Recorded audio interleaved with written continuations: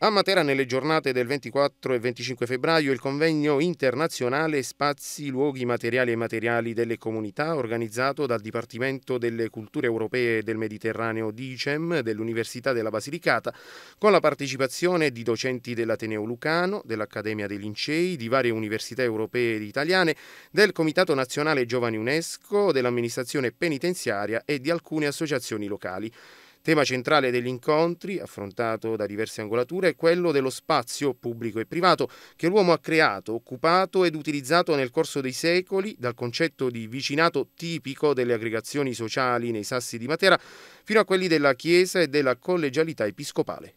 Il convegno nasce perché dal, dallo studio sulla toponomastica eh, materana mi sono accorta di aver la necessità di dialogare con colleghi che potessero darmi eh, delle dritte sull'interpretazione corretta a volte anche dell'utilizzo di un toponimo piuttosto che di un altro.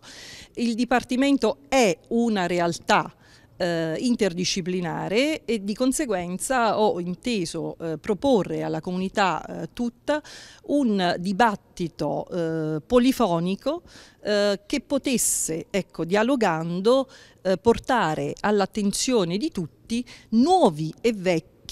problemi inerenti agli spazi. Spazi quindi che si, si declinano eh, in tutte le loro forme, eh, dal territorio ai luoghi, grazie all'intervento dell'uomo che poi li rende paesaggio.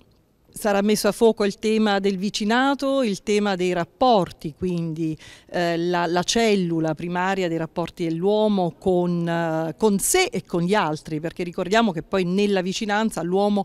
costruisce la propria identità. La vicinanza, intesa come appunto quella dimensione non solo spaziale ma proprio eh, umana e relazionale eh, in cui eh, si creano e si ricreano identità. E la vita della città eh, dei Sassi e anche del resto della città nel canzoniere di Franco Palumbo che è stata poi occasione per risalire all'indietro su immagini più antiche di Matera, da quella di Carlo Levi nel famoso Cristo si è fermato a Eboli, risalendo fino a un poeta materano del Seicento, Tommaso Stigliani, noto alle storie letterarie, e ancora più indietro a due domenicani che ci hanno dato notizia di una Matera non infernale ma paradisiaca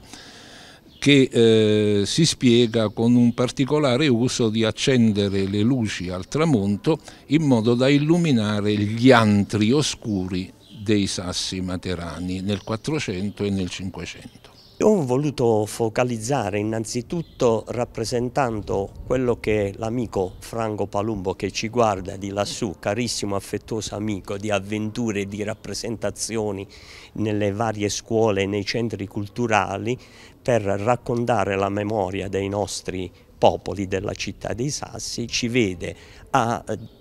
rappresentare affettuosamente dico, quello che Franco Palumbo ci ha lasciato in questa grandissima raccolta di poesia. Il tema trattato più che altro va a significare la popolazione de Cheravon e de Chessavon perché la stessa popolazione dei Sassi non identificava eh, nelle strade, nei luoghi ma la prima cosa che si chiedeva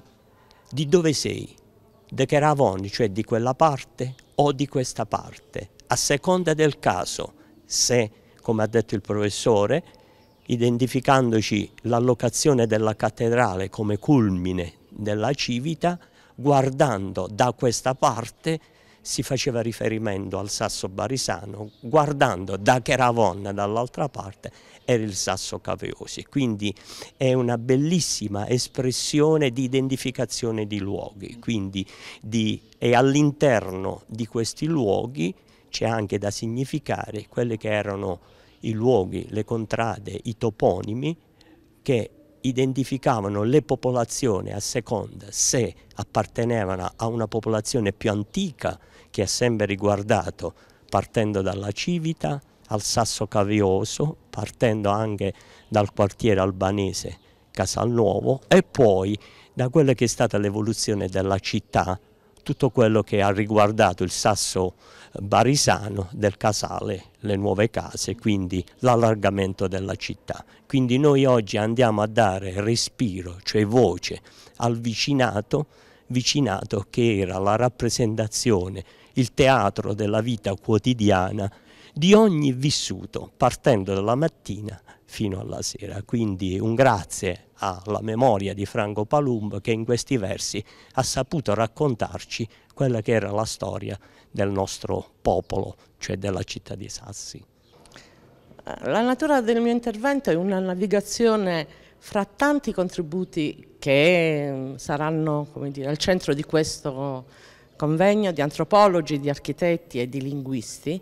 affrontandoli però attraverso eh, le tracce dell'economia della cura e l'economia del dono. Eh, il vicinato eh, di Matera, una comunità sostanzialmente basata sulla famiglia, sulla famiglia allargata, è molto diversa da quello che oggi nella sharing economy porta alla coabitazione di, com di comunità elettive, di persone che probabilmente non hanno nessuna relazione familiare ma trovano un motivo o di ordine economico in risposta alla crisi o di ordine ideale di eh, resistenza e di responsabilità sociale e ambientale e decidono di condividere la casa, talvolta anche il lavoro. Non abbastanza approfondito è l'aspetto che riguarda la divisione interna del lavoro di questi nuovi vicinati che nel caso della, del vicinato tradizionale, anzi della vicinanza materana, era proprio netta fra la cura della donna nei confronti degli anziani e dei bambini rispetto all'uomo, il capofamiglia, che portava le risorse di sopravvivenza della comunità. Ora, eh, questo aspetto molto probabilmente non è stato sufficientemente indagato, ma analisi che riguardano le motivazioni della creazione dei vicinati continuano a differenziare la, il comportamento degli uomini molto più orientato al risparmio energetico, alla razionalità economica di una scelta di coabitazione rispetto alla donna le cui motivazioni prevalenti sono invece la ricerca di condivisione di relazioni. Questo in qualche modo è al centro dell'economia femminista, sia nel versante dell'economia della cura, eh, sviluppata soprattutto in ambito anglosassone, che però diciamo, tende a far riconoscere l'esistenza di un lavoro che non è riconosciuto dal mercato, sottopagato,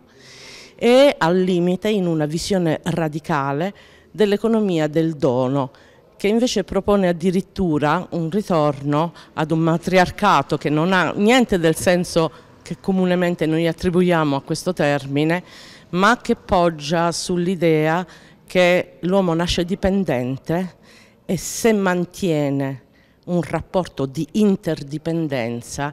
non si verifica più, eh, si riducono almeno gli squilibri sia sul fronte delle relazioni umane sia su quelle delle relazioni dell'uomo con la natura.